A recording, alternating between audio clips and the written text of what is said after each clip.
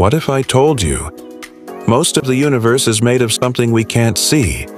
It's called dark matter. Invisible, untouchable, yet strong enough to control entire galaxies. Dark matter doesn't shine. It doesn't glow. It doesn't reflect light. But it has gravity. And that gravity shapes the universe. Galaxies spin so fast they should tear apart. But dark matter holds them together like an invisible cosmic glue.